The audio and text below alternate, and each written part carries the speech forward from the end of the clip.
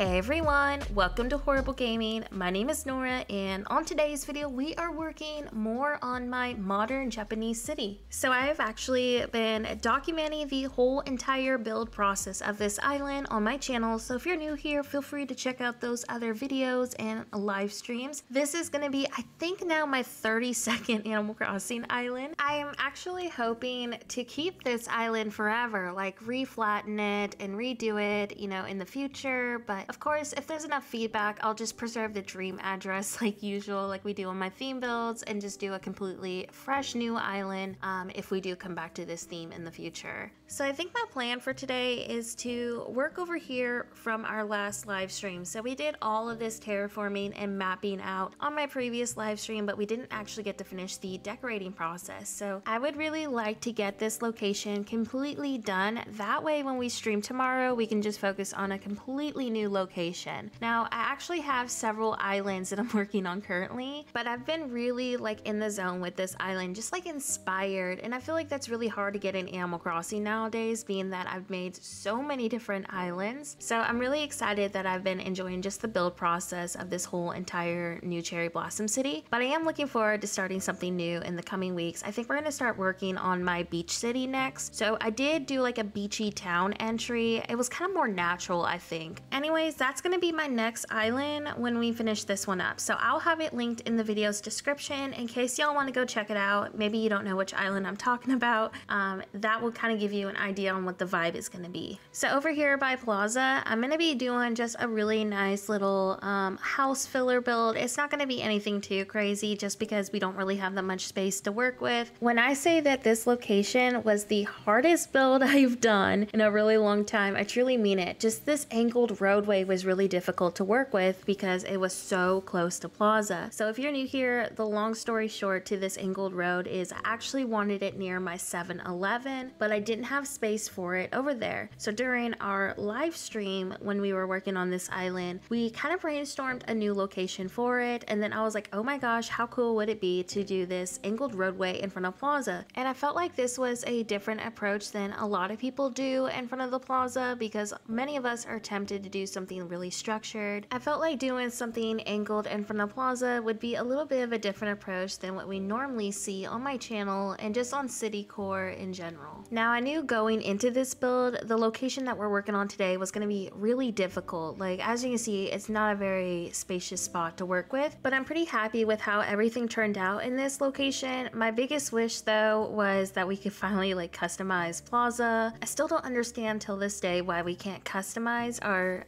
NPC buildings. I feel like if I could have edited Plaza to be more Japanese looking, it really would have just impacted this whole entire location. But of course, we're just gonna work around it and make it work. So after we finish this location in front of the plaza, we're gonna start decorating right next to the villager home. We actually placed this villager on my last live stream. So my plan over here is probably gonna be doing a small little sitting spot behind it. And originally I was really wanting to do some sort of a market build, but I just don't have space for it. We're really close to the edge of the map, so I'm probably just gonna do a really small sitting area over here, kind of overlooking the beach area, and then we're gonna do maybe a parking lot right next to it. I actually got that parking lot done today, but I didn't record it because it was such a small build and there was honestly really no point on recording that location. And I honestly think I'm gonna change it up. Maybe I'm just overthinking it, but I just didn't really like how that parking lot turned out. So like I said on my previous videos and live stream, streams, I'm planning to decorate the beaches and all the villager homes. So if y'all have a really fun idea for this villager, let me know in the comments section. I'm not sure what to do on the beach over here either. I was thinking maybe something boat related, but I'm not quite sure honestly what would be a good um, themed villager home for this spot. Obviously not every villager home has to be themed in its location, but I am trying to do really fun interiors to kind of make this whole entire island a little bit more immersive.